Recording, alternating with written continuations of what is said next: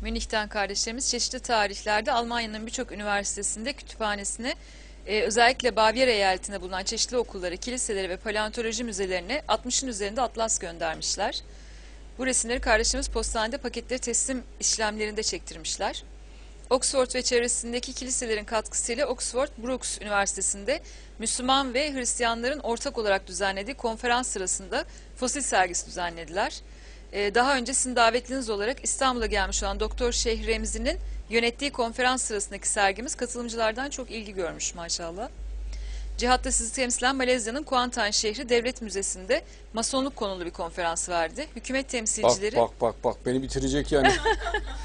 yani Allah Allah. Kim bilir neler dedi masonluk dedi. ya kardeşim senin üstadın mason yani yapma etme Allah aşkına.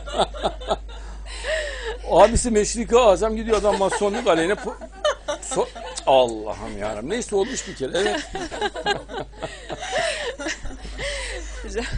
evet. Hükümet temsilcileri Malezya'daki çeşitli üniversitelerde görev alan öğretim üyeleri ve tanınmış İslami vakıfların yetkilerinin katıldığı konferansta diğer konuşmacılar da sizin çalışmalarınızın paralelinde Darwinizmin geçersizliği ve yaratılış konuları ve ayrıca Kur'an ve bilim konulu konuşmalar yaptılar.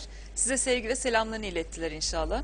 Aleyna aleyküm selam ve rahmetullahi ve berekatuhu. Ya şahane haberler. Maşallah elhamdülillah. Şahane. Bayağı güzel. Birbirinden güzel. Yalnız o cihattan bir hesap soracağım. evet. Gerekir.